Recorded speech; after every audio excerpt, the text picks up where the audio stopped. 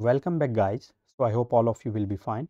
This is question 2.67 and the statement here is that consider the situation of example 2.32 okay? So the example here is 2.32 on page 58 so what is that example?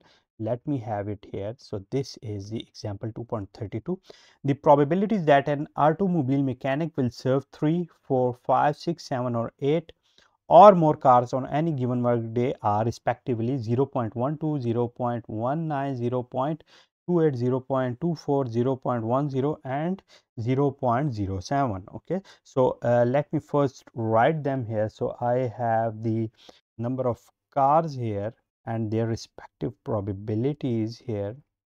What? So let me write them here.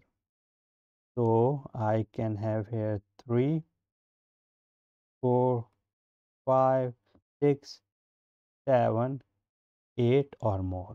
Okay, so I have different cars here. Uh, for the three, I have 0 0.12. For four, I have 0 0.19. Okay, I have 0 0.28 for five. For six, I have 0 0.24.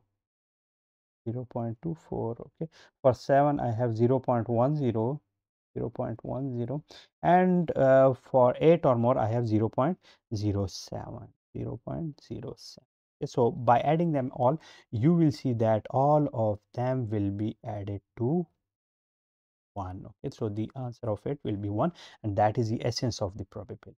Okay so on the basis of it what do I have to find out here? Uh, that is the question or example here. So let me first find the solution of this example and let me tell you what is inherent in it. So what is the probability that he will serve at least five cars on his next day at work? Okay. So uh, in this example i have to find out the probability that he will service cars at least five cars on the next day. Okay. So the cars should be greater or equal to five. Okay or it can be what? It can also be 1 minus probability that he will service cars less than 5 okay?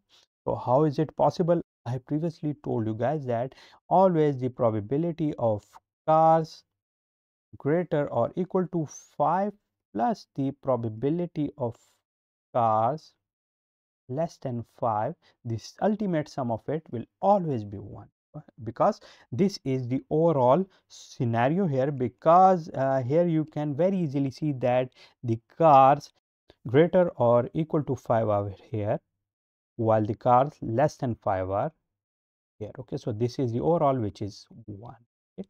so having it all the ranges uh, lies here what we have here we can see that here this is the same range we have here which has been graphically illustrated here in these cars okay?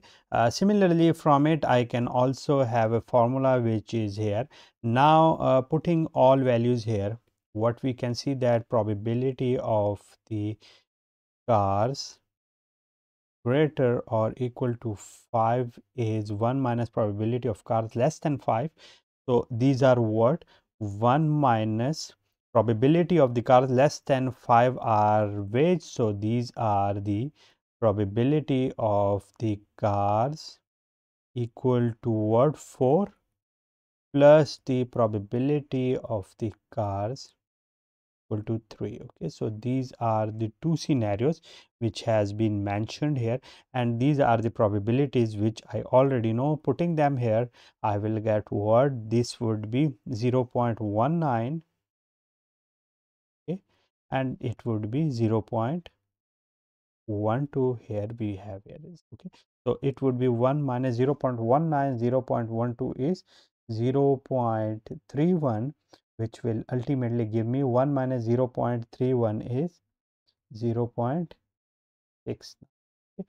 so that is what?